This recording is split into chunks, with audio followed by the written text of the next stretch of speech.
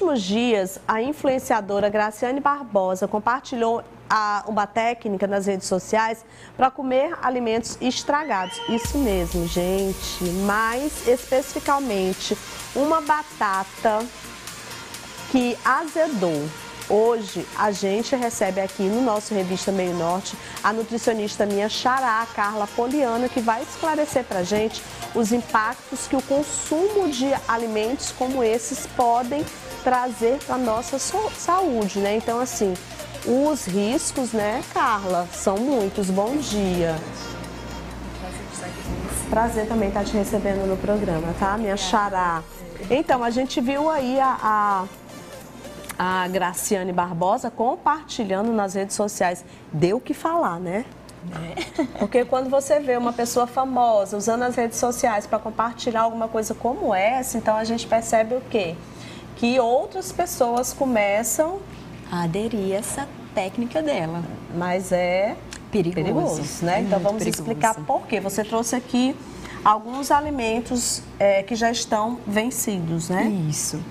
É, Carla, não é só a questão do vencimento, mas o, o cada alimento ele tem uma vida útil uhum. por si só. Frutas, especificamente, não tem uma data de validade, né? Mas a gente tem a questão da temperatura, do calor, da umidade. E isso influencia bastante nesse estragar o alimento. Temos aqui o creme de leite, um alimento industrializado, né? Temos os pãezinhos e o refrigerante, que por si só já não faz bem, né? A é. saúde. Imagina Existem só... alimentos que estragam mais fácil que os outros? Sim, é isso que eu lhe falei. O que tem a ver é essa questão da luz, da umidade, do calor, uhum. da temperatura, do ambiente em que ele se encontra. Se tiver próximo a um alimento que já esteja é, deteriorado, ele também vai se deteriorar com mais facilidade no caso das frutas. Eu sempre tenho uma dúvida e eu vou aproveitar que a Carla está aqui comigo para tirar essa dúvida. Por exemplo, a gente está, vamos falar do iogurte, uhum. né?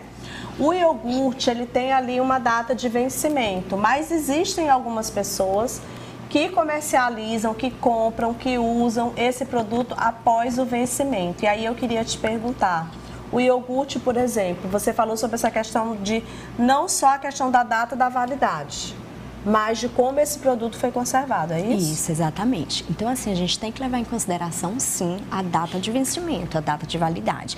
E o iogurte, especificamente, o que, que acontece? Ele está lá na prateleira do supermercado, um cliente pega, desiste da compra, deixa lá no caixa, é, alguém vai lá, coloca de volta, e aí ele fica passeando Passando de, de, de gôndola lugares. em gôndola, né? Então, ele acaba perdendo aquelas características dele própria e se estragando bem antes mesmo do seu vencimento.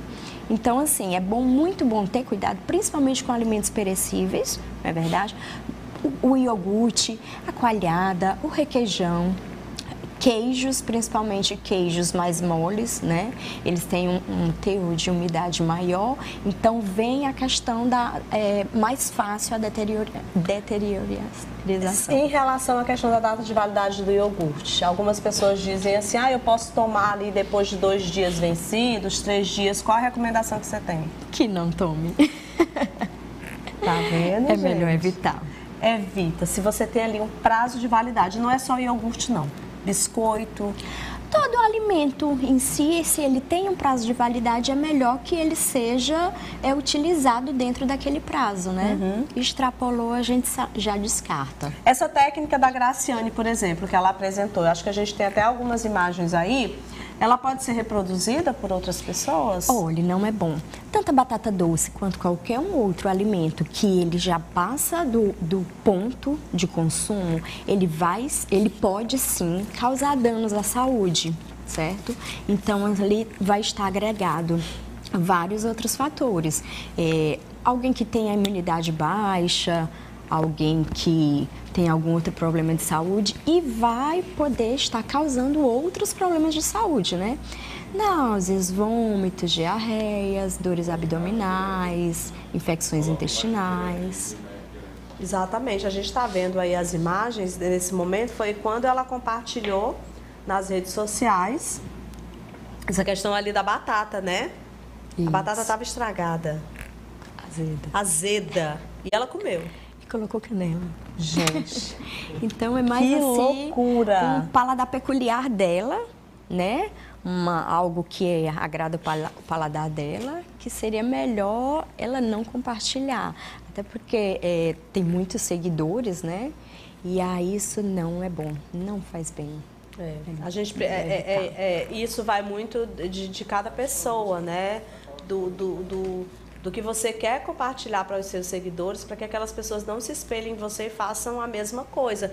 Infelizmente, a gente sabe que no, no mundo da rede social existem compartilhamentos e compartilhamentos e coisas e coisas Sabe-se lá se por trás desse, dessa postagem dela tinha algo ali que ela queria influenciar e, de certa forma, também poder dizer para as pessoas: ó, oh, pode comprar ali a batata quando está um pouquinho vencido, que não tem nada a comer. A gente não sabe, gente, é. o real motivo das coisas, porque existem os influenciadores que são pagos para fazer determinada mídia ali, para influenciar as pessoas a fazer aquilo.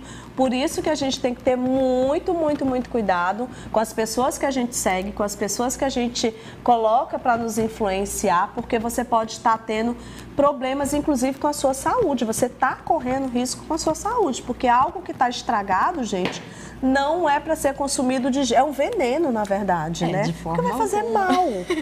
Porque assim a gente é o que a gente come. É. Né? A nossa máquina é tudo aquilo que a gente come. Então a gente precisa evitar os alimentos estragados e vencidos. Eu tenho perguntas aqui para você, Carla. Vou colocar aí na tela.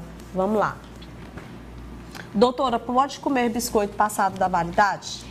Então, bem como o biscoito, a gente falou anteriormente que é melhor evitar todo e qualquer alimento que esteja fora da data de validade.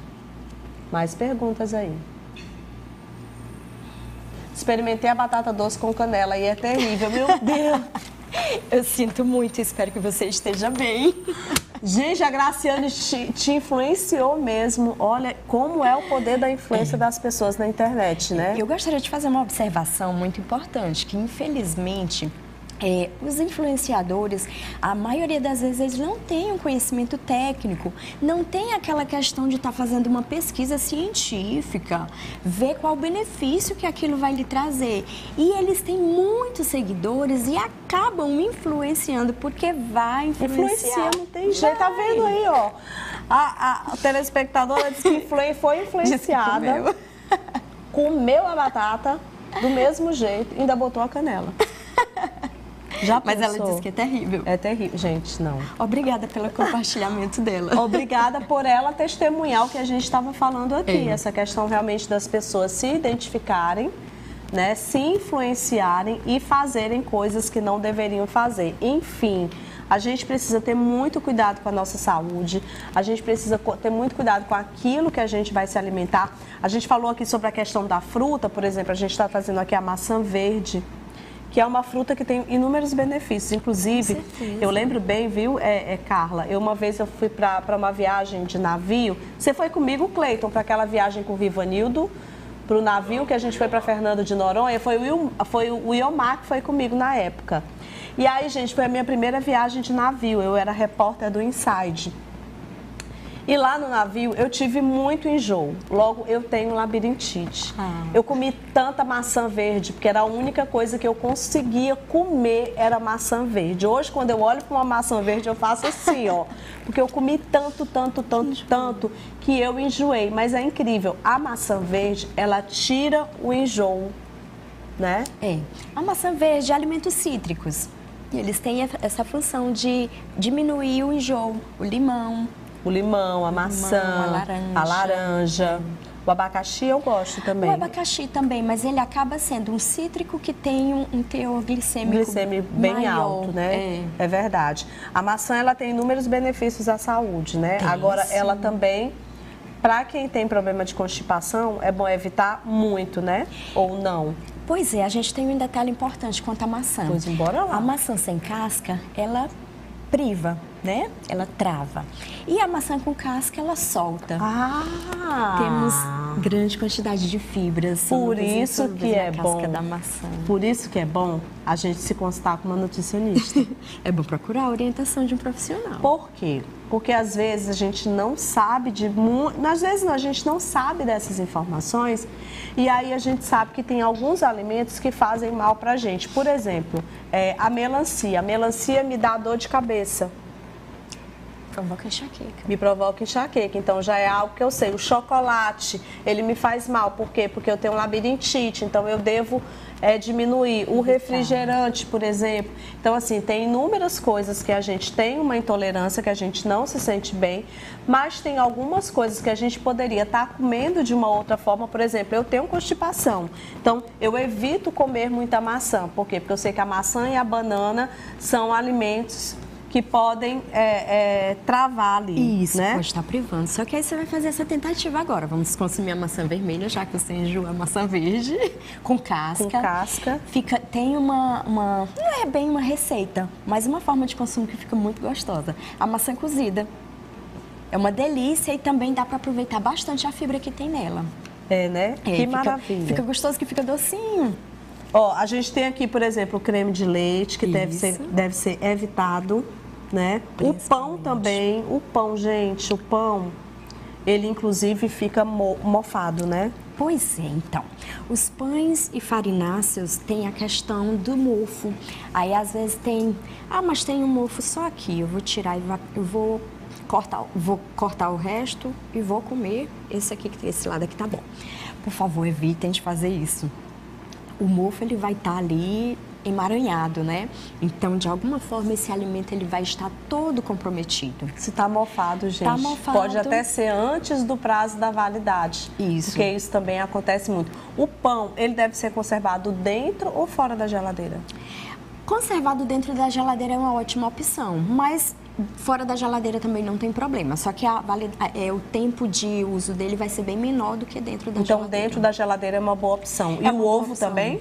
O ovo, particularmente, eu, eu utilizo ele dentro da geladeira. Fora, a temperatura aumenta e aí vai causar uma deteriorização mais rápida. Mais rápido. E o refrigerante? O refrigerante é melhor evitar a todo custo. saudável, não saudável. É, é dentro da validade ou não. É sempre bom estar evitando refrigerante. Show! Não faz bem para a saúde de jeito de nenhum. De jeito nenhum. Obrigada, Carlinha. Eu gostaria só de pincelar alguns benefícios da batata doce. Uhum. A batata doce é cheia Eu de benefícios. Ela tem vitamina A, vitamina E, vitamina C, vitaminas do complexo B, riquíssima em fibras, antioxidantes. Então, então assim, vamos consumir os alimentos na magnitude que eles têm a nos oferecer, né? O alimento está ali, bom para o consumo, vamos consumi-lo como ele está. Como ele a está. A gente não tem necessidade de estar consumindo alimentos estragados, de né? jeito Vamos nenhum. usufruir do benefício que eles têm a nos oferecer. É verdade. E olha, a informação ela é muito importante em todas as áreas da nossa vida. Por exemplo, na área da estética também, tem muitas informações que a gente precisa aprender.